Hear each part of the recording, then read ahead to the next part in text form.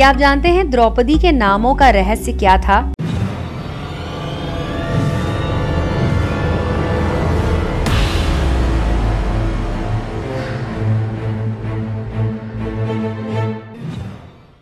द्रौपदी के पाँच नाम। द्रौपदी को द्रौपदी इसलिए कहा गया था क्योंकि वो राजा द्रुपद की पुत्री थी। उन्हें पांचाली तो इसलिए कहा गया क्योंकि राजा द्रुपद पांचाल देश के राजा थे। उनका एक नाम कृष्णा भी था क्योंकि वो भगवान कृष्ण की सखी थी। एक नाम था याज्ञनी, जो कि इसलिए रखा गया क्योंकि वो यज्ञ करने के बाद पैदा हुई थी। और अंत में उनका एक नाम था सिरंधरी सिरंदरी का अर्थ होता है पति के अलावा अन्य पुरुषों के साथ रमण करने वाली।